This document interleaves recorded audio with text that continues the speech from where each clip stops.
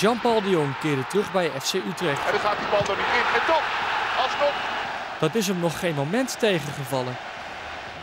Ja, het is uh, heel leuk. Hè? Het is uh, zeker ook uh, iedereen die je langs de trainingsvelden tegenkomt. het is ja, hartverwarmend. Jean-Paul stapte over als hoofdtrainer van FC Eindhoven.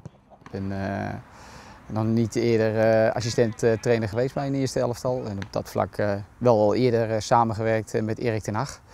Dus ja, ik weet wel wat, wat we aan elkaar hebben. Wat heb je aan elkaar?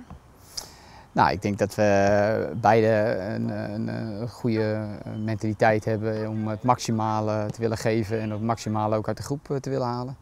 Eh, daarnaast ligt ook eh, de visies eh, liggen ook dicht bij elkaar.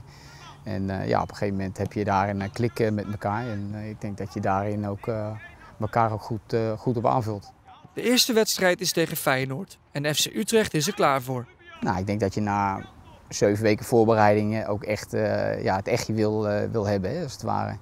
En uh, ja, dan is uh, Feyenoord natuurlijk in, in, die uitverkochte Kuip is natuurlijk toch altijd een mooi meetmoment voor ons om te zien waar je staat.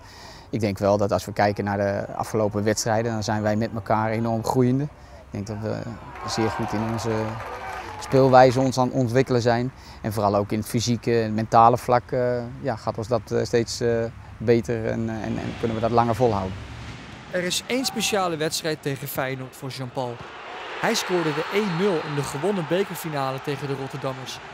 Hij won die beker met Dirk Kuyt. Ik denk dat Dirk wel terug kan kijken op een fantastische carrière. Hè. Natuurlijk hier in Utrecht te begonnen. Ik weet nog donders goed de eerste wedstrijd in Montfort. Waarin hij uh, een aantal doelpunten maakte, vijf stuks meen ik.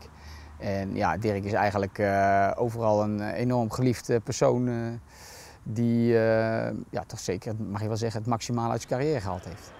Is er nog steeds contact tussen jullie? Nou, het is natuurlijk Dirk uh, is, uh, heeft een, stappen gemaakt waarin je elkaar niet zo vaak meer, meer tegenkomt. Maar het is wel zo dat als je elkaar weer tegenkomt, is het altijd wel weer mooi om elkaar weer op die manier nog eens even weer wat, wat herinneringen op te halen. Voor Jean-Paul is het daarom extra speciaal dat FC Utrecht uitgerekend tegen Feyenoord en Dirk Kuyt het seizoen opent. En het is leuk om zo'n weerzien uh, dan weer in de Kuip te hebben, want daar waar we het succes ook uh, met elkaar uh, gevierd hebben.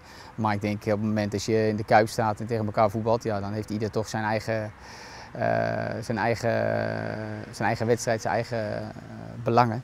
Ja, het is wel leuk om in ieder geval hem op deze manier te ontmoeten en ja, wellicht ook dat we natuurlijk daar een succes aan kunnen koppelen.